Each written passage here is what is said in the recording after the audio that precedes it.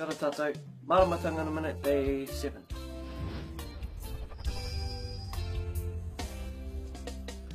Gloria Hareruia kia iho ngā manu i ngā wā katoa. Kei te rangi tōna torana, kei te whenua tōna tūranga waiwai, kia whakapaingia tōni ngā tapu i ngā wā katoa. Nō reira, tēnā tātou. Uh, our māramatanga stands on the belief that Ihoa has power and authority over all things.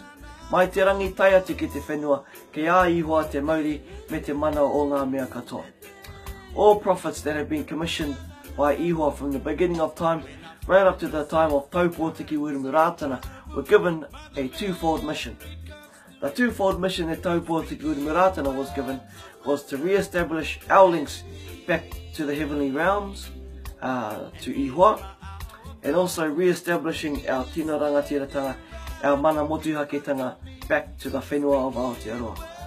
And tau pō tiki Urumiratana was given two documents to achieve this mission, one being te pai peratapu and the other being te tiriti o waitangi.